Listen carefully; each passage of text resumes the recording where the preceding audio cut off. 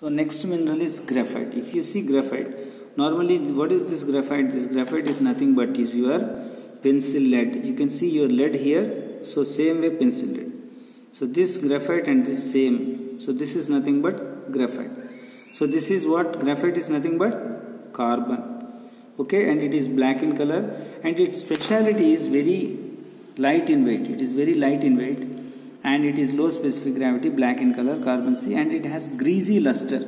You can see here it has a greasy luster. So the luster what the shining is like grease.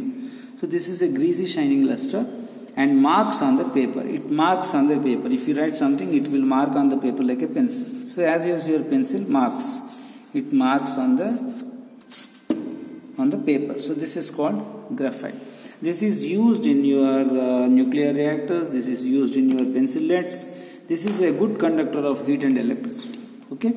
So it's massive. It is black color. It is uh, luster is greasy. Its fracture is uh, uneven. Cleavage is present. Okay? Cleavage is present. Hardness is 1 to 2 you can easily scratch with your knife. So if i scratch you can easily scratch no? so when you are cutting your uh, pencil you can easily cut it then specific gravity is low, transparency is opaque. Special property marks on the paper name of the mineral is graphite. Chemical composition is C, carbon. Used in paints, lubricants, pencils, electrodes, nuclear reactors. Its origin is from the metamorphic rocks.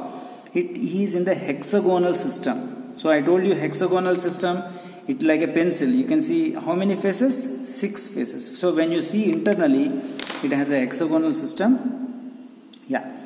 So normally trees how the uh, carbon from the amorphous trees to peat, peat to lignite, lignite to subbituminous, bituminous to anthracite, anthracite to graphite and graphite to diamond. So this is the transformation of carbon. So carbon from the atmosphere to the diamond. So diamond is also C, graphite is also C.